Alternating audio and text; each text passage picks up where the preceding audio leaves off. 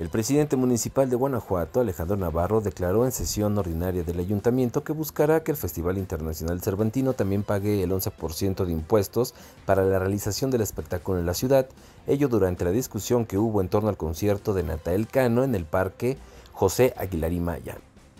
Mientras los homicidios dolosos y feminicidios tuvieron una reducción de apenas un 11% en el primer semestre del 2024, otros cinco delitos contra la vida y patrimonio registraron incrementos arriba del 20%, reveló el Observatorio Ciudadano de León. El gobernador de Guanajuato, Diego Sinue Rodríguez Vallejo, aseguró que el trabajo de la Comisión Estatal de Búsqueda se tendrá que revisar para fortalecer y mejorar el área, porque ha quedado a deber. Rodríguez Vallejo expresó que muchas veces solamente se concentra en el trabajo de búsqueda, pero también la comisión tiene la finalidad